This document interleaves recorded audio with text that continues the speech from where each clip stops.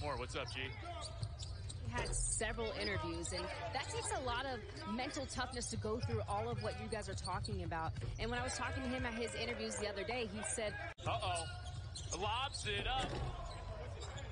I love the idea. I love the idea, and he high-fived Bediako off of it. There's such a thing as guys who display all the things that you look for. That is staggering. But he's the only player in college basketball over the last 40 years to have a 40-point game in four different seasons.